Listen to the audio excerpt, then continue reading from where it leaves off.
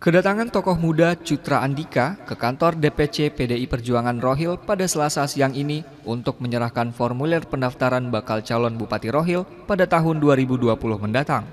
Kedatangan Cutra Andika didampingi sejumlah pengurus partai Hanura maupun jajaran dewan terpilih dari partai. Sedipanya di kantor PDI Perjuangan, rombongan langsung disambut oleh Ketua Panitia Penjaringan Bakal Calon Bupati Wakil Bupati Rohil DPC PDI Perjuangan, Maston.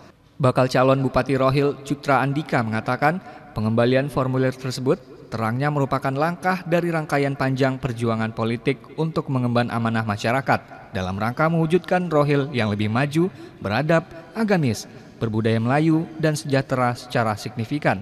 Dengan dukungan dari PDI Perjuangan, dirinya siap berlayar pada tahun 2020 sebagai calon Bupati Rohil. Saya, Cutra Andika, bersama dengan kawan-kawan dari praksi Partai Hanura di DPRD Kabupaten Rokan Hilir, juga para pimpinan DPC Partai Hanura Kabupaten Rokan Hilir, tim relawan dan juga tim kuasa hukum juga dihadiri oleh istri saya, Lediana.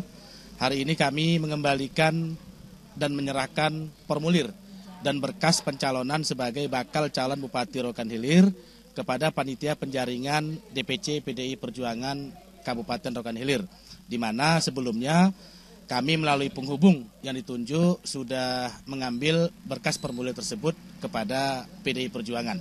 Sesuai dengan timeline yang disiapkan oleh PDI Perjuangan, maka hari ini kami serahkan berkas tersebut. Penjaringan berlangsung sampai tanggal 23 September dan tahapan selanjutnya akan disampaikan hingga ke tingkat pusat. Dari Rokan Hilir, Julius melaporkan.